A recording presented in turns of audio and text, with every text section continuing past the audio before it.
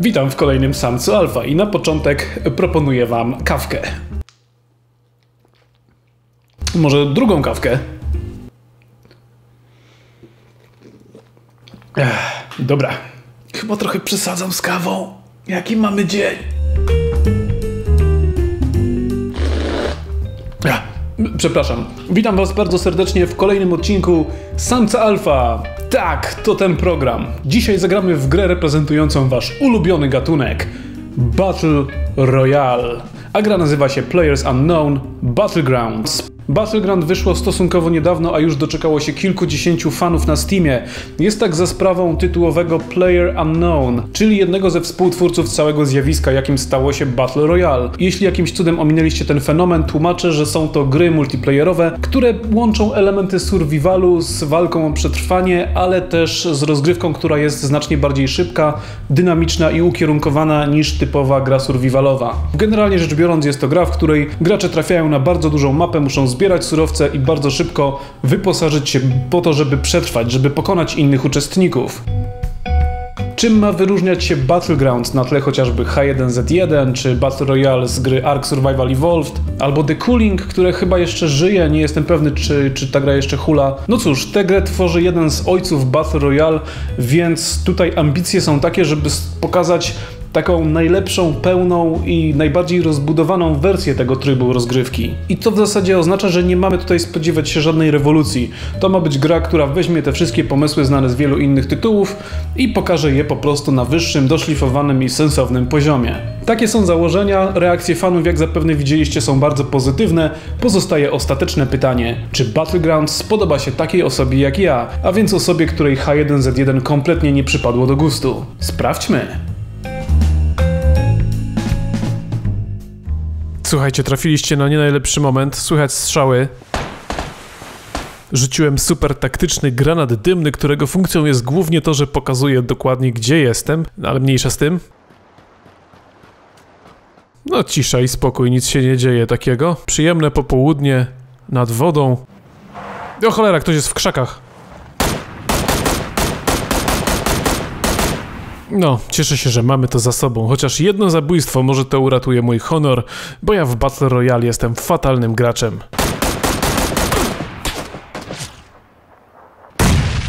Dobra, pomówmy więc o Player Unknowns Battlegrounds. Jesteśmy teraz w lobby głównym, tak charakterystycznym dla gier tego typu, gdzie w oczekiwaniu na rozgrywkę można biegać, strzelać, wyzywać ludzi i ogólnie zachowywać się obraźliwie. Mashallah, mashallah. Z Battle Royale jest na razie tak, że jeśli graliście w jedną grę tego typu, to niemalże graliście we wszystkie. Zaczyna się więc dość standardowo na pokładzie samolotu, z którego skaczemy na mapę. Z jednej strony chcemy wylądować w pobliżu budynków, gdzie są przedmioty, ale też musimy uważać, żeby, no nie wiem, nie wylądowali nam na głowie inni gracze. Nie wiem, czy było to widoczne, ale celuję w niebieski dach.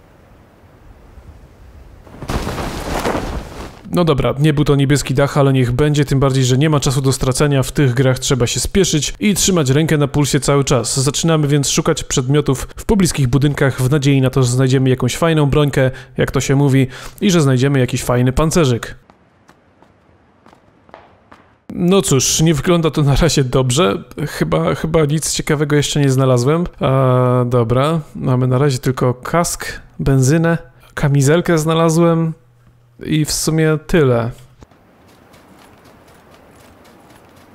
No tak, cóż innego gra mogła mi wylosować? Oczywiście, że maczeta, krakowski styl. Uff, chociaż tyle, pistolet chociażby. Dobra, może jeszcze coś się znajdzie, bo jak widzicie tutaj bardzo dużo tych śmieci leży, ale to też jest jeden z tych takich wyróżników e, trybu Battle Royale, że po prostu to jest takie uproszczenie, no. O, o, no, to już, już poważniejsza sprawa.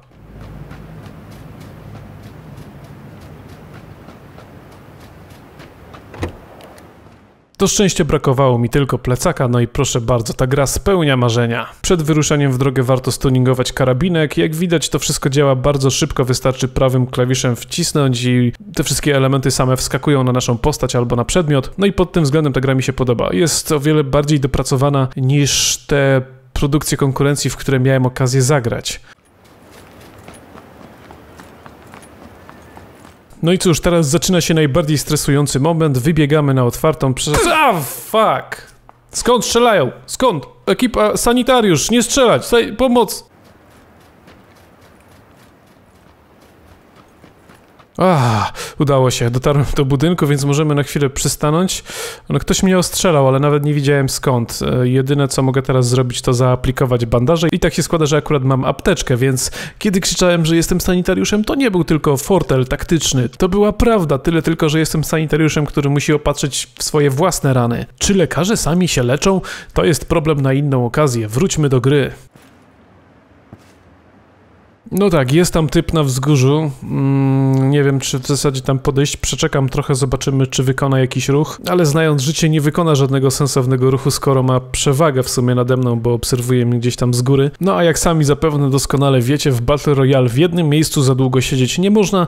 I to nawet nie dlatego, że wykryją nas gracze, ale dlatego, że po prostu obszar, na którym można grać, cały czas się kurczy. O wilku mowa, właśnie aktywowano czerwony obszar. To jest taki obszar, na którym dzieje się coś takiego.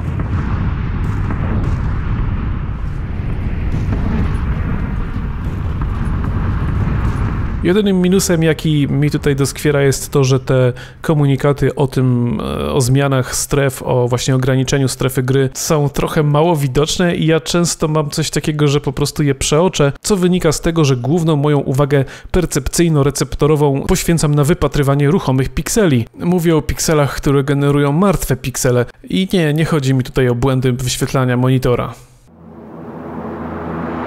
O nie. Nie, nie. Tylko nie to.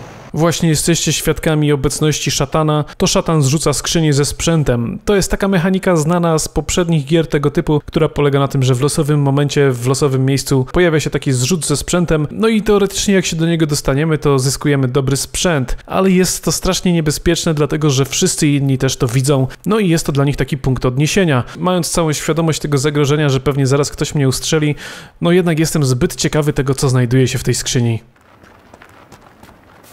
Oho, zaczyna się. Już, już ktoś, już coś, co się... Nie, nie! Sanitariusz! Mam jeszcze bandaże. Ech, wiedziałem, że tak będzie. Zawsze tak jest, jak idziesz do tej głupiej skrzyni, to ktoś tam się przyczai na drzewie, jakiś ninja i strzela. No pewnie z tych budynków, ale niekoniecznie. Może z... Au. Au. Au. Mam kamizelkę, jestem nie... Ała. no tak, i jak widać udało mi się być tam 36 czy którymś, za co dostałem 76 złotych medali, czyli więcej niż wszyscy sportowcy.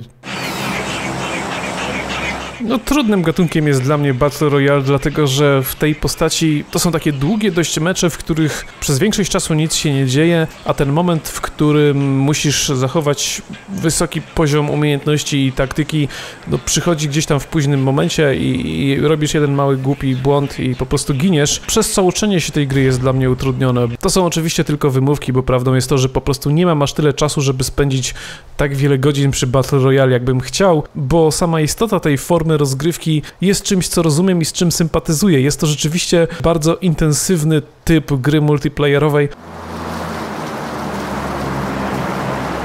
I jest to atrakcyjne tym bardziej, że można grać solowo, można grać w dwuosobowych grupach albo w czteroosobowych zespołach.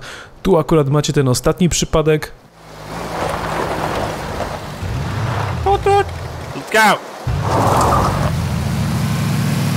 To na przykład moi przyszywani przyjaciele, Rudy Afro, gość z Fallouta i cosplayer Hotline Miami. No i muszę przyznać, że fajny klimacik ma ta gra. I na pewno jeśli miałbym grać w jakiś Battle Royale, to zagrałbym w Battlegrounds. Zabrzmiało to teraz jak jakaś taka reklama, że wybierzcie Battlegrounds. Jeśli ja miałbym wybrać, to wybrałbym Battlegrounds. Mówiłem już o tym, jak fajne jest Battlegrounds. O proszę, i nawet kusza jest do wyboru.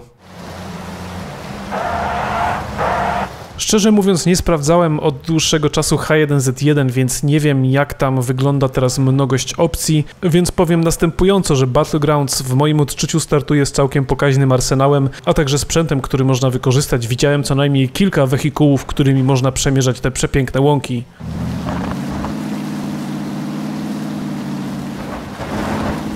What the... That...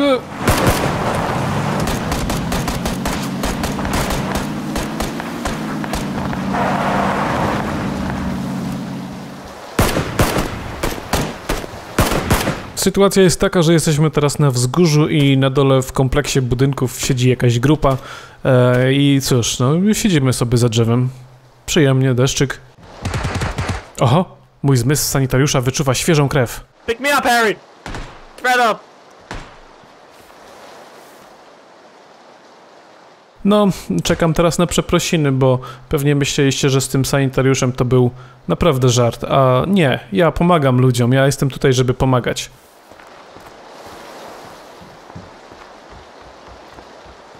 Oj, oj, oj, oj, to się zagapiłem. Ho, ho, ho, ho, ho, ho, ho. No, tak się to kończy. Profesjonalny człowiek zajmujący się grami. Nie zauważyłem, że strefa się zbliżyła i czołgam się teraz jak robal w błocie. No cóż mogę powiedzieć, życzę wszystkim miłego dnia, bawcie się dobrze, pamiętajcie, że słońce zawsze jest, nawet jeśli jest za chmurami albo po drugiej stronie globu.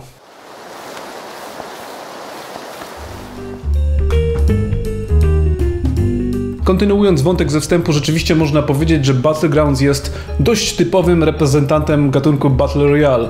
Nie ma tutaj jakiejś dodatkowej rozbudowy, mechanik czy, czy jakichś elementów, które byłyby niepotrzebne. Lądujemy na mapie, biegniemy do najbliższego budynku, zbieramy jakiś sprzęt, no i staramy się reagować na to, w jaki sposób ułoży się mapa. Jak jednak mam nadzieję udało mi się pokazać, rzeczywiście jest to gra, która reprezentuje troszkę wyższy poziom niż H1Z1 i wiele innych podobnych tytułów. Przy czym tutaj odniósłbym się też do tej mojej niechęci względem Battle Royale. To nie do końca jest tak, że nie lubię tego gatunku, on po prostu razi mnie w takich grach jak H1Z1 bardzo niskim stopniem wykonania poszczególnych elementów. Tamta gra była bardzo nieprzystępna i nieprzyjemna w samej obsłudze dla mnie. Battlegrounds jest pod tym względem trochę lepsze. W tym sensie, że wciąż jest to gra bardzo oparta na pewnej toporności sterowania, na, na pewnych takich ograniczeniach w tym, jak się poruszamy, ale mimo wszystko gra się w to po prostu przyjemniej.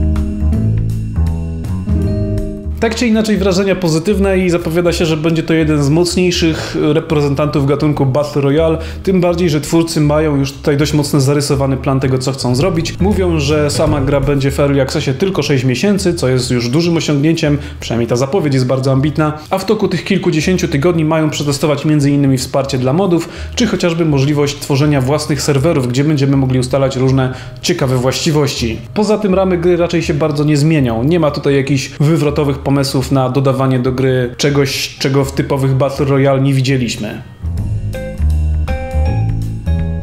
Czy opłaca się więc kupić Battlegrounds? No cóż, wydaje mi się, że jeśli lubicie Battle Royale, to kupujecie każdy tytuł tego typu, no bo te dotychczasowe nie były najlepsze, miały dużo do poprawy, no i wydaje mi się, że ta kolejna produkcja jednak przynosi jakiś krok do przodu. I muszę przyznać, że mimo początkowej obawy bawiłem się przy tym całkiem nieźle, co jest najbardziej zaskakujące i co jest najlepszą rekomendacją.